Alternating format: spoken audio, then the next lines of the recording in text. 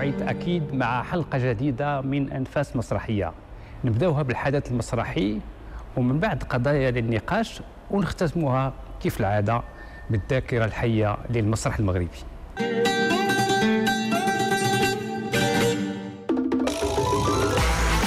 من الإبداعات المسرحية التي أضافتها الشركة الوطنية للإذاعة والتلفزة إلى خزانتها وسيحظى المشاهد الكريم بمتابعتها على قنواتها. نذكر هنا مسرحية يليل يعين لجمعية محترف فاس لفنون العرض. راه هاد عرفتك زعما باغي تقول باللي حنا خدامين مع المخابرات؟ أجمع له قلبك مزيان. مزيان. والله إنك ما تقديتي حتى مرتك ظهرك طم الكرشك مزيان؟ ها زقات معنا مزيان. وكان عليكم تقولوها ليا من الأول. أسمع السي هادشي ما فيش ملغى السيرفيس سيرفيس المرض ابري آه. وحنا عطاونا مهمه خطيرة. وقالوا لنا ردوا باركو وحلوا عينيكم مزيان. أنت شوف. ونزيدك قالوا لنا تلقوا ودنيكم مزيان. وشمشموا وجمعوا الخبار وعندك عندك يعيق بكم شي حومان آه. آه. ما تقولوها حتى شي واحد من غيري أنا. شفت وهو نص لرائد الاحتفالية في المغرب الدكتور عبد الكريم برشيد. وتدور أحداث المسرحية حول كاتب مسرحي كان أعمى فأصبح مبصرا ليجد نفسه وسط أحياء المدينة. فيقرر كتابة نص مسرحي يسميه فيما بعد موال مسرحي. فيلتقي بشخصيات الليل وظلالها فيحاورها وتحاوره. لكن الأهم عند لقائه بخياله الذي يتمثل بشخصية المجذوب كما يسميه سكان الحي. فيعيش أوجاع تلك الشخصيات وهمومها لتتطور بعد ذلك أحداث درامية. المسرحية من إخراج حميد الرضواني. عندك ها؟ شنو هي الصدمه ديالك؟ عزري مجوج مطلق. ها ولا ندوي أنا معروف صاحبي. ما كنسولكش على سميك حنا ما كنعرفوكش أنا هو معروف. معروف صاحب السبوعه ولا القنفول ويا النمس اش قال قال لك معروف صاحب السبوعه السبوعه آه نار خربوه. ايوا شنو هو المعمول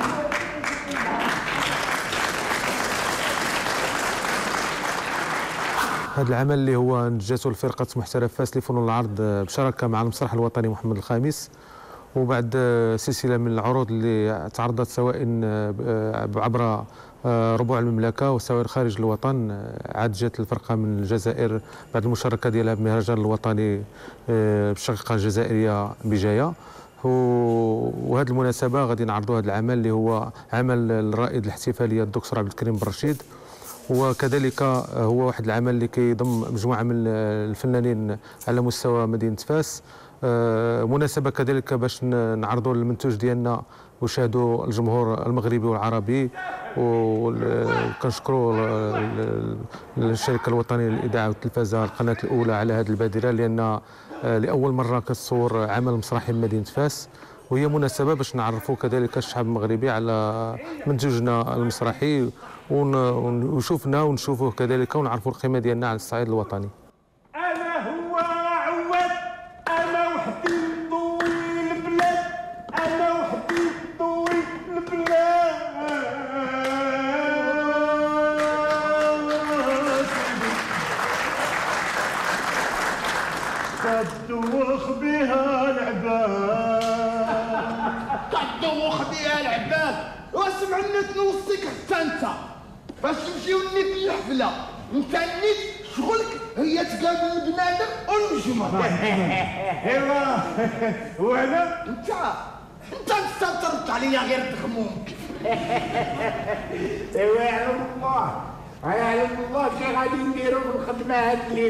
مع هذوك اللي كيشوفونا لا لا لا لا لا لا لا لا لا لا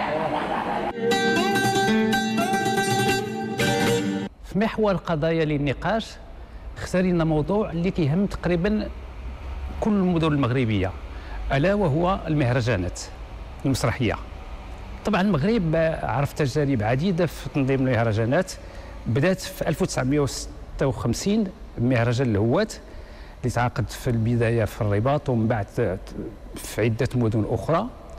من بعد المغرب نظم مهرجان المسرح العربي في 73 ونظم عاوتاني مهرجان ديال المسرح العربي المتنقل في 74 المهم الموضوع ديالنا ماشي هو تاريخ المهرجانات هي فقط غير لمحة على المهرجانات اللي عارفها المغرب ولكن باش ما نكونوش كنصرفوا واحد الخطاب يعني تشاؤمي آه قلنا نهضروا على هذا الجيل الجديد ديال المهرجانات.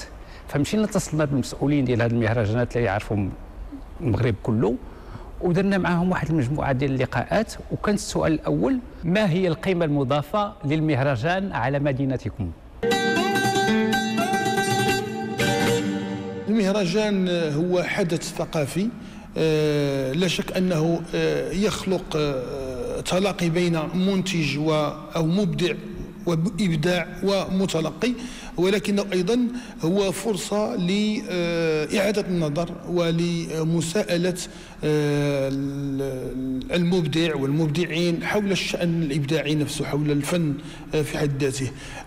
وغالبا ما يكون استجابة لانتظارات محلية في داخل مدينة أو داخل منطقة معينة. اذا المهرجان الآن بات من العلامات المميزة للمدن. هناك مدينة تعرف مثلا بمهرجان العيطة ومهرجان السينما أو مهرجان الشعر أو مهرجان. إذا باتت هذه علامات أو إيقونات مميزة مدننا ومناطقنا. طبيعة الحال المهرجان الدولي للمسرح الجامعي بمدينة طنجة هو مكون أساسي باعتباره ينطلق من الجامعة في اتجاه المدينة ويحاول أن يؤتت هذا الفضاء الثقافي لمدينة طنجة من خلال بعد آخر من خلال مسرحيات من نوع آخر من خلال تجارب مجموعة من الدول ولكن ليست فقط المحترفة ولكن التي تشتغل داخل الجامعة. ونعلم بأن الجامعة أصبح لها دور أساسي في آه، صياغة الفكر بشكل عام والمسرحية على وجه التحديد بالنسبة للقيمة المضافة اللي كيضيفها المهرجان المدينة هي كيخلق واحد آه، الجو الثقافي ما بين ساكنة المدينة و وكيحاول ينمي آه، الثقافة المسرحية في وسط المدينة والجهة بصفة عامة. أهم أهم قيمة هي أنه أصبح الآن ملتقى للحضارات باعتبار أنه مهرجان دولي تحضره مجموعة من الفرق المسرحية من مختلف بلدان العالم، هذه قيمه مضافة. بالنسبة إلينا. القيمة المضافة التي يضيفها طنجة المشهدية كمهرجان لمدينة طنجة وهو أولا وقبل كل شيء هو المحاولة في تنشيط المدينة ومسرحة المدينة. على اعتبار أنه من اللحظات اللي يعني آه، كتعيش فيها المدينة نوع من الفرجة نوع من من الأدائية إن صح التعبير وأعتقد أن القيمة المضافة أيضا هو في نوعيه الفرجات ونوعيه الضيوف والموائد المستديرة والندوات إلى آخره التي يعني تقام ضمن فعالية مهرجان طنجة للفنون المشهديه. كيف جاتكم فكرة تنظيم مهرجان وما هي الخطوات الأولى التأسيسية؟ مهرجان طنجة الدولي للمسرح فانطلق آه، تحت اسم مهرجان طنجة ملتقى الثقافات في 2000 سنة 2012 فكان فكانت آه، مهرجان يعني على شكل آخر. كان فيه فن تشكيلي كان فيه موسيقى كان فيه مسرح.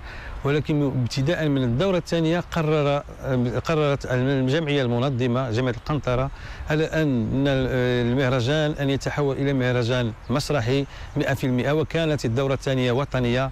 ثم انطلقت إلى من الدورة الثالثة إلى مهرجان دولي. المدينة كانت تفتقر إلى إلى مهرجان كبير بحجم هذا المهرجان آه، الدولي. ولذلك فكرنا قلنا المدينة تزخر بالطاقات. إذا هذه الطاقات ينبغي أن يعرفها الناس.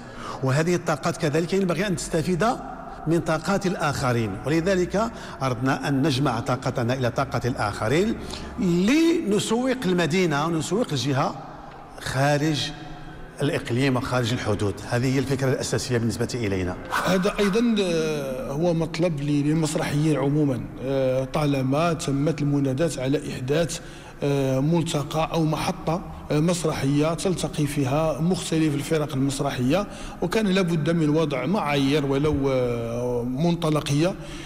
فالتقت هذه الإرادة مع إرادة وزارة الثقافة.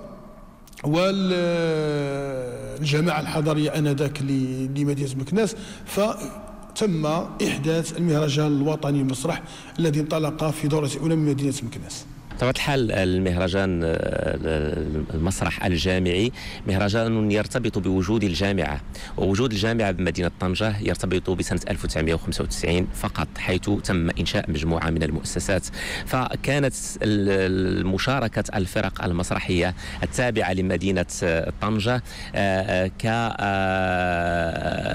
كمبادرة آه، تقوم بها مجموعة من المؤسسات ولكن أصبحت مدينة طنجة دائما تحتاج إلى فضاء آخر أوسع وأرحب من أجل إتاحة الفرصة لأكبر عدد ممكن من الطلبة من أجل المشاركة في مهرجانات مسرحية ولكن داخل مدينة طنجة. وبالتالي جاءت فكرة إنشاء هذا هذا المهرجان. الفكرة تأسيس المهرجان جات من بعد ما كان ما كانت مدينة تطوان كتعاني واحد الخصص في, في العروض.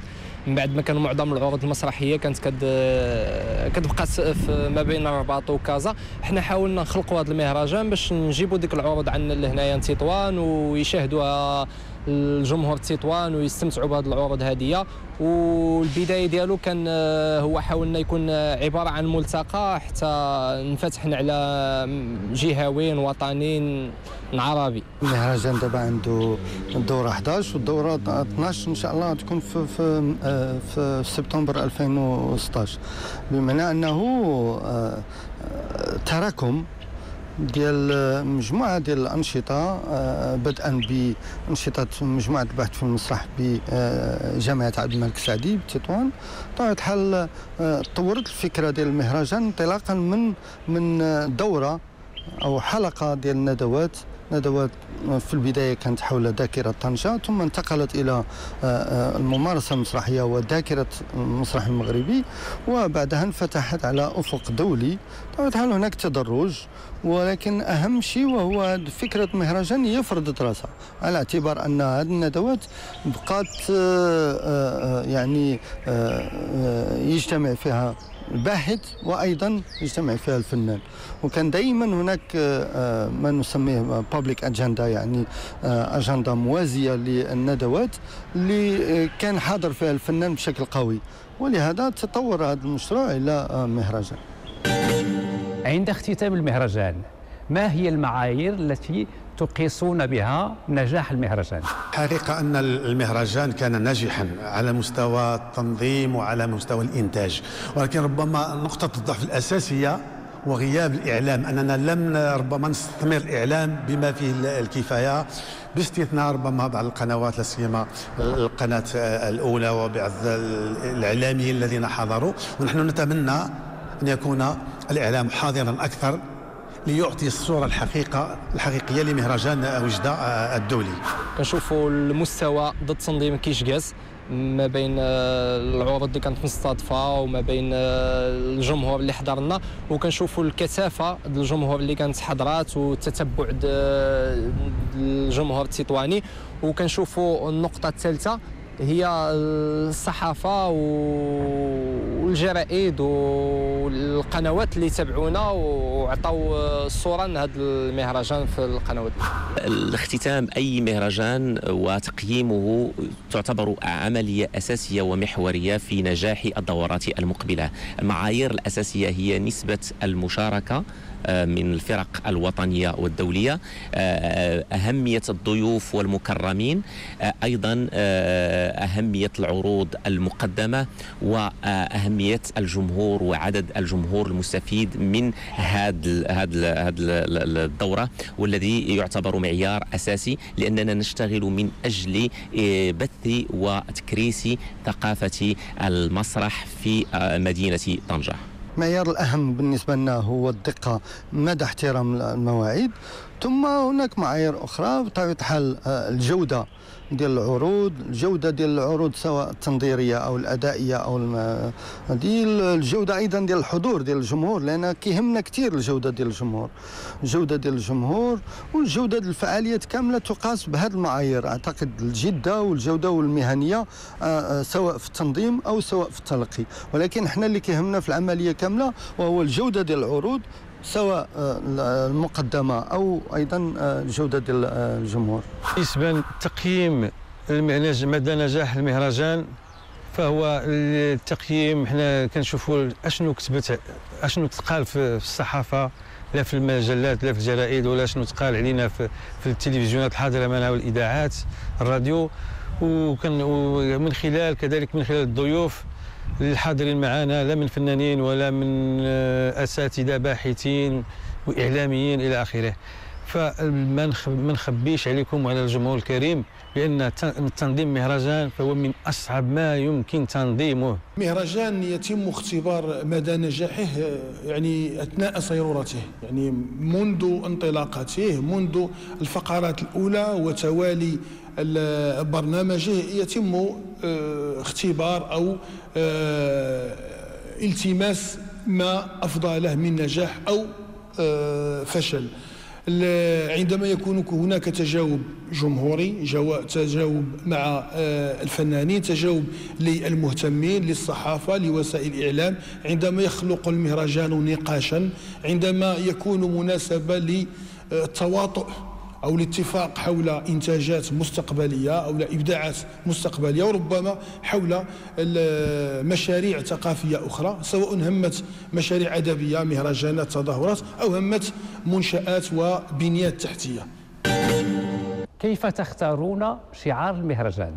المهرجان آه، الشعار ديالو دائما كيخرج من من من آه، من المهرجان السابق بمعنى أن هناك نقاش يتطور الدورة السابقة كانت على على آه، الدراماتورجيا آه، البديلة. الدورة كانت على آه، الذاكرة والمسرح. الآن وصلنا في النقاش لحدود فكرة أو شعار عودة السرد. شعار المهرجان يرتبط دائما بالانشغالات الأساسية التي تعيشها الجامعة وتعيشها المدينة في علاقتها بالثقافة. فهنا نحن نعمل دائما على ايجاد وربط العلاقة ما بين الجامعة والمدينة. لذلك اخترنا في الدورات الأخيرة موضوع مدينة طنجة كمهد للحضارات ومجال للثقافات. وبالتالي هذا البعد الثقافي لمدينة طنجة نريد أن نكرسه. نحن من بعد وزاوية أخرى هي البعد الجامعي. الشعار ديال المهرجان هو كيكون واحد آه، الصورة كل دورة. وحنا حاولنا هذا الشعار. باقيين ملتزمين به اللي هو شعار يلا بنا للمسرح.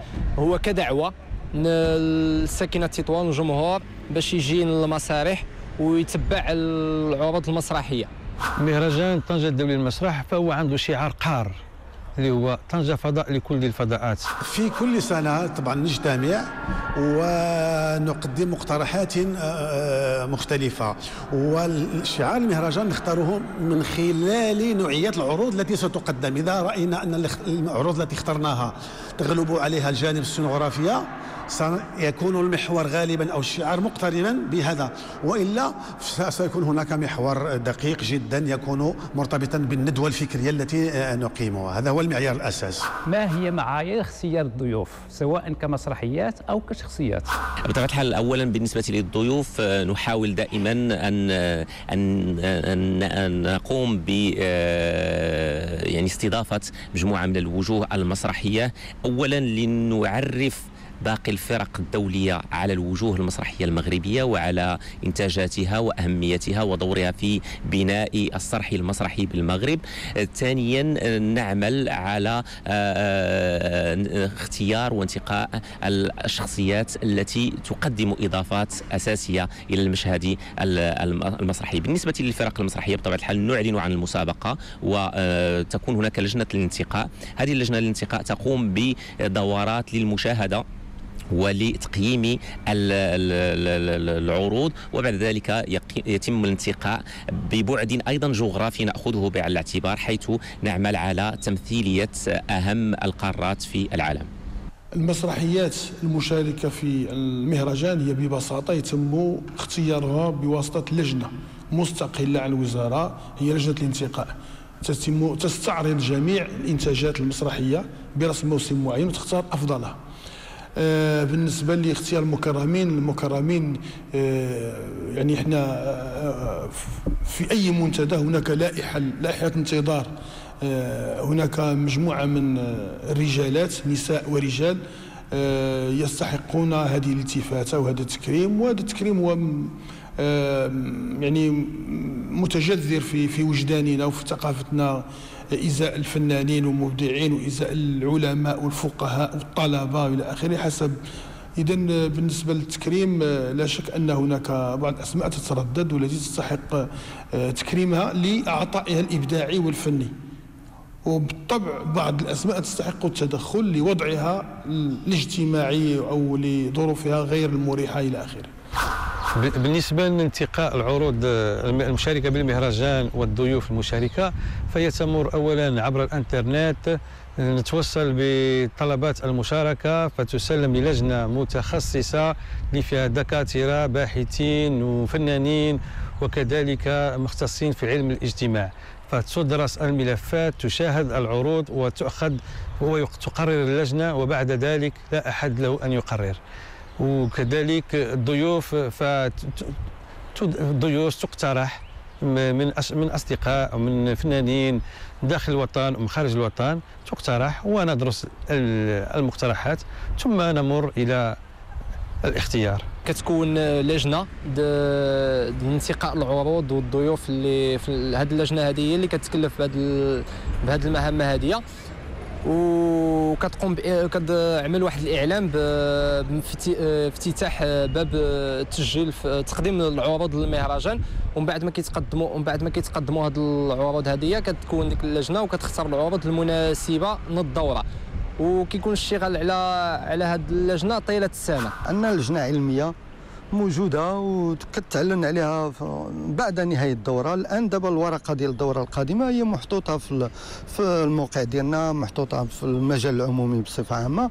يعني هناك لجنة علمية مكونة من أسماء بارزة على المستوى الدولي على المستوى العربي على المستوى المغربي. هذا من جهة. ومن جهة أخرى هناك أيضا مشرف فني أو مدير فني. آه، هناك استمارات. جوج ديال الاستمارات الاستمارة الأولى ديال الباحثين والاستمارة الثانية ديال الفنانين. طبعا المدير الفني يتلقى الاستمارات ديال الفنانين والمشرف على الندوة يتلقى الاستمارات ديال وعندنا مواعيد مضبوطة بحيث أنه أعتقد هذه السنة عملنا مارس هي آخر آه، أجل لاستلام الاستمارات. ثم أبريل باش كنردوا على الناس. ثم يعني عندنا مواعيد جد مضبوطة. تلقي الاستمارات والطلبة المشاركة إلى آخره. في الحقيقة أول تكريم سنة حميدة لأن تكرم شخصا في حياته يعني أنك تقدر ما قدمه من عطاء. وهذه المسألة قضية التنسيق بالفعل موجودة غير موجودة التنسيق بين المهرجانات. ونحن لم نكرر اسما سابقا. وأحيانا لا يكون التنسيق مع المهرجانات الأخرى. وأحيانا أخرى تعترضنا مجموعة من العراقل أننا نقترح أسماء ولكن تلك الأسماء أحيانا لا تلتزم. وقع لنا هذا في السابق. نقترح مجموعة من الأسماء ولكنهم في آخر لحظة خذلونا. ولذلك آه، غالبا ما نميل إلى الذين نقتنع بأنهم سيكونوا سيكونون آه، آه، حاضرين. هذا جانب أخلاقي لأن الفنان حينما يلتزم معك ويقول سأحضر ينبغي أن يحضر. وقد وقع لنا أكثر من مرة. للأسف للأسف أن الأجانب الذين نقترحهم للتكريم يحضرون وكثير من أهل البلد نقترحهم ويلتزمون معنا ولكن في آخر لحظة آه، يخذلوننا. فكرة التكريم رغم إيجابيتها تشكو دائما من نفس الوجوه أو من هدايا رمزية وخطاب يائس. ما رأيكم في ذلك؟ آه، بالنسبة للتكريمات ديالنا كنحاولوا حنايا آه، نوعوا ما بين التكريمات ما بين الرواد وما بين الشباب اللي يلاه بداو المسيرة ديالهم واللي كتكون هي كتحفيز لهم وكتشجيع باش يكون العطاء أكثر والاستمرارية في هذا الميدان. اولا نقدم دائما لك التروفي ديال المهرجان يكون ثابت دائما نقدم آه، ولكن لا نقدم رمز مالية. حاولنا يعني من خلال استضافة وتكريم وجوه أجنبية حتى لا يكون دائما يصعب على مهرجان آخر أن يأتي بنفس الشخص. أما بالنسبة للجوائز فهي فعلا رمزية نظرا لميزانية المهرجان المهرجان أو المهرجانات اللي كتكون ميزانية محدودة ومحدودة جدا. الاشتغال ديالنا ضمن آه، ندوة دولية آه، يحتم علينا الاشتغال في أفق آه، أوسع.